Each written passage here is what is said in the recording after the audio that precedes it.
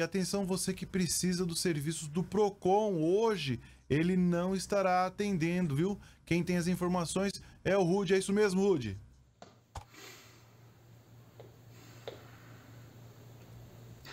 Fala Israel, tudo bem? Bom dia para você, uma ótima manhã para todos que acompanham o SN Notícias. Pois é, infelizmente o Procon aqui de Três Lagoas não estará fazendo atendimento presencial nesta quinta-feira. Isso porque os colaboradores estarão passando por uma espécie de capacitação, projeto de capacitação junto à Superintendência Estadual do órgão, a Superintendência Estadual do Procon.